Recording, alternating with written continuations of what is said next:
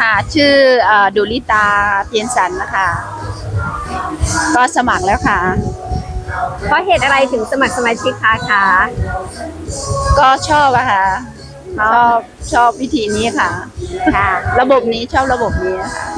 ค่ะ ขอบคุณค่ะค่ะ